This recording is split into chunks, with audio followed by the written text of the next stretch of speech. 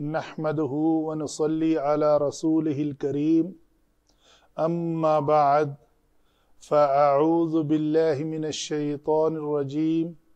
بسم الله الرحمن الرحيم. سوال ہے جی مدکر لفظ قرآن پاک میں صورت القمر میں چار بار استعمال ہوا ہے۔ تو اس کا روٹ ورڈ زال کاف را ہے، ذکر، جس کا معنی ہے نصیحت۔ تو ذکر سے مدکر کیسے بن گیا؟ دال کا تو یہاں نام و نشان نہیں ہے۔ تو یہاں زال ہے تو یہاں پہ زال نہیں ہے۔ تو یہ تبدیلی کیسے رونما ہوئی؟ یہ اسم الفائل ہے۔ ذکر کرتے ہیں اس کا کہ ذکر زال کا فرام مصدر سے اگر کوئی کلمہ زال کاف را مصدر سے یہ لفظ جب باب افتعال پر آئے تو زال اور باب کی تا۔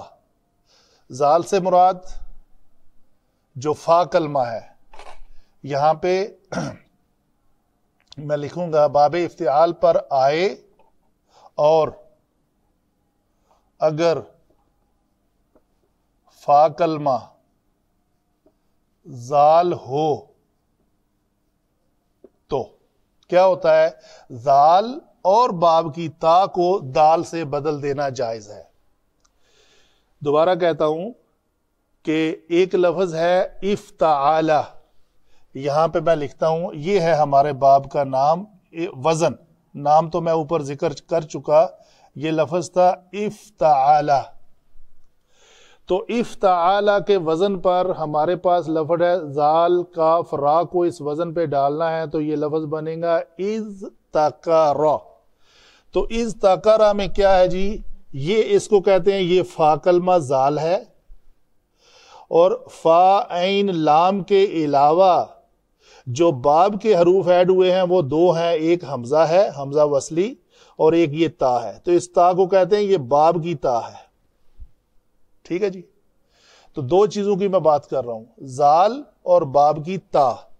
تو زال کا افرا مصدر جب باب افتعال پر آئے تو زال اور باب کی تا کو دال سے بدل دینا جائز ہے۔ بصورت دیگر از تاکارا یا از داکارا یا از زاکارا بھی جائز ہے۔ یہ علماء کی رائے ہے۔ اپنے لفظ پہ آتے ہیں۔ ہمارا لفظ ہے از تکارا تو قانون ہے کہ اگر فا کلمہ زال ہو تو زال کو اور باب کی تا کو دال سے بدل دو۔ تو ہم نے کیا کیا؟ یہ کسرا کے ساتھ حمزہ تو رہا کافرا بھی وہ رہا، لیکن زال اور تا کو دال سے بدل دیا۔ تو یہ لفظ بنا اد دکارا زال ساکن تھا، دال کو ساکن کر دیا، تا متحرک تھی، دال کو متحرک کر دیا۔ تو یہ لفظ بنا عید داکارا۔ تو یہ دال ساکن ہے، ہر ساکن حرف کلمات میں، ہر ساکن اس کے بعد جو ہم جنس متحرک ہو تو اس کا آپس میں ادغام ہو جاتا ہے۔ ہر مشدد حرف میں پہلا ساکن ہوتا ہے اور بعد والا متحرک ہوتا ہے۔ تو یہ کیا ہوا؟ دال کا جب ہم نے دال میں ادغام کیا تو مشدد آ گیا، تو اس کے اوپر حرکت ہم نے کون سی دی؟ جو دوسرے دال کی تھی۔ تو یہ لفظ بنا اد دکارا یہ ہے فیل ماضی کا وزن۔ فیل ماضی سے جب مظاہرے بنائیں گے تو وہ لفظ کیا بنے گا؟ افتعال یفتعیلو ادکارا ید اگر آپ اس کو یفتعیلو کے وزن پر بھی لیں۔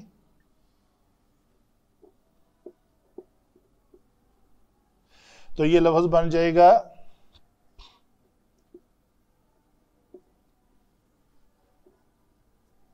ید تو یہ لفظ ہے ید دکیرو اچھا۔ آگے ہے، ہم پہلے پڑھ چکے ہیں پچھلے کورس میں کہ اسم الفائل بنانے کا طریقہ کار کیا ہے۔ اسم الفائل بنانے کے لیے اگر ہمارے پاس کلمہ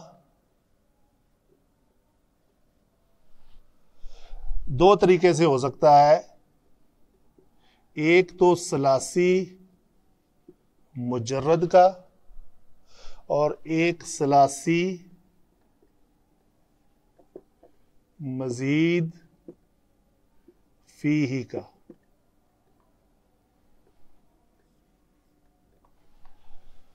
سلاسی مجرد کا مطلب ہے صرف تین حرفی کلمہ، جیسے دارابا ہے۔ سلاسی مزید فی کا معنی ہے کہ ان تین کے اندر مزید کوئی دو حرف یا ایک حرف یا تین حرف۔ تو اس ذاکرہ کے اندر ہم نے ایڈ کیے حمزہ اور تا۔ تو یہ ہو گیا مزید اس میں، سلاسی میں مزید کچھ کلمات۔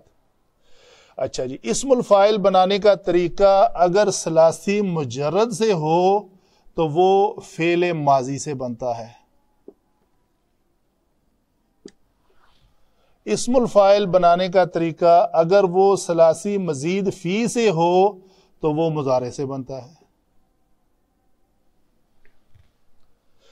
فیل ماضی میں سلاسی مجرد کا ایک لفظ ہے، ہم کہتے ہیں جی ایک لفظ ہے دارابا۔ یہ فیل ماضی ہے۔ تو فیل ماضی میں داد را با جو تین کلمات ہیں، ان میں فا کلمہ اور عین کلمہ۔ کے درمیان الف کا اضافہ کر لیں۔ جیسے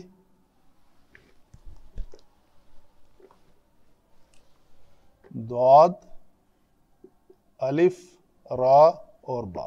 یہ لفظ بن گیا دارب۔ یہ کس وزن پہ بنا؟ یہ فائل کے وزن پہ بنا۔ ہم نے کیا کیا؟ فا کلمہ، عین کلمہ اور لام کلمہ۔ فا اور عین کے درمیان ایک الف کا اضافہ کرنے تو فائل بنتا ہے نا۔ اسی طرح داد اور را کے درمیان ایک الف کا اضافہ کیا تو یہ لفظ بن گیا دارب، مارنے والا۔ آگے وہ داربو، داربا، داربی، جو بھی بنے گا۔ اچھا یہ تو طریقہ ہوا اسم الفائل بنانے کا طریقہ سلاسی مجرد سے۔ اگر کلمہ ہمارے پاس سلاسی مزید فی ہی کا ہو تو وہ ہم نے لکھا کہ مظاہرے ہے۔ تو یہ کلمہ چونکہ بات ہم کر رہے ہیں سلاسی مزید فی کے، تو اس کے باب سے فعل ماضی بنتا ہے، افتعالا سے از تقرا اد دقرا اد دقرا، فائنل بنا۔ تو اس کا مظاہرے کیا ہے؟ ید کی تو یہ لفظ ہے ہمارا۔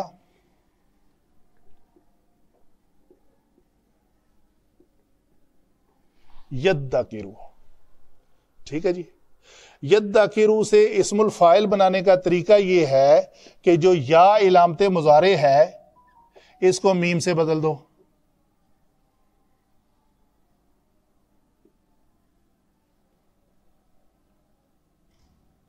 مدکرو، یہ اسم الفائل بن گیا۔ مدکرو، مدکری اور مدکرا جو ہے، وہ اس کو اس کا عامل کرے گا جو اس سے پہلے آئے گا۔ تو ہمارا کلمہ چونکہ مدکرین ہے، اسم اسم الفائل حالت جری میں استعمال ہوا ہے، تو ہماری آیت مبارکہ کا حصہ ہے، فہل مم مد کی رن کیونکہ من حرف جارہ کے بعد کسرہ آئے گی، یہ لفظ مقصور ہونا چاہیے۔ تو یہ ہے ہمارا لفظ اسم الفائل فیل کرنے والا۔ کون سا فیل کرنے والا؟ وہی، ذکر۔ تو ذکر لینے والا، نصیحت لینے والا۔ نصیحت کیسے لینے والا؟ سوال یہ ہے، میں کرتا ہوں آپ سے۔ اگر اس ذکر کو سلاسی اسم الفائل ہی بنانا ہے۔ سلاسی مجرد سے بنا لیں فیل ماضی سے بنے گا ذاکرہ سے لفظ کیا بنے گا، ذاکر، نصیحت حاصل کرنے والا۔ ٹھیک ہے؟ تو وہ نصیحت حاصل کرنا ایک عام نارمل کام ہے۔ ایک لیکن جب باب افتعال سے کوئی لفظ آ جاتا ہے تو اس کی بہت بڑی خوبی ہے مبالغے کے ساتھ۔ اس میں محنت کرنی پڑتی ہے۔ ٹھیک ہے؟ تو وہ جو لفظ ہے نا، اس کو اس کے اوپر لانے کا مقصد وہ ہے اس نصیحت حاصل کرنے میں مبالغہ کرنا، محنت کرنا۔ ٹھیک ہے جی؟ تو یہ لفظ بنا مدکر۔ اور اسی سے اگر اسم المفول بنائے تو وہ مدکر بن جائے گا۔ او کاف کے اوپر صرف زبر ہوگا تو وہ اس میں مفول بن جائے گا۔ یہ ہوئی جی بات ہماری ذکر سے مدکر کیسے بنا، یہ پورا کلمہ ہمیں سمجھ آ گئی۔ تو ابھی ہمارے ذہن میں وہ جو ہے نا نہیں رہے گا۔ سورہ کمر کی آیت پڑھتے ہوئے کہ نصیحت و ذکر کو کہتے ہیں، یہ مدکر ہے تو دال کا فراغ زال سے دال کیسے بنا؟ یہ پوری ایکسپلینیشن دے دی۔ وما علینا الا البلاغ المبین